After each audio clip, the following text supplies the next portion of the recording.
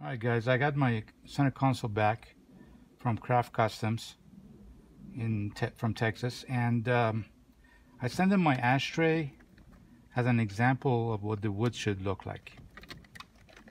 And uh, this ashtray has three connections in the back. You push them in and then you slide the new unit into the into this section here and it just plugs right in.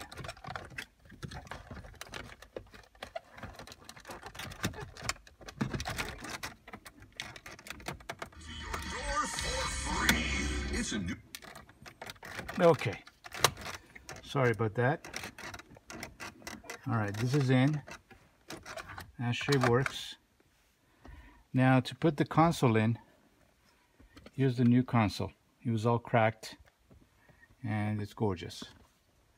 To put the console in, put the um, the drive gear, the shift gear a little back and this thing also clicks into place. Let me see, I think it's this way. Yep, just like that. And you push it down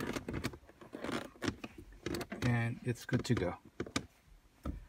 Let me push the gear back in and that should look, that should be it.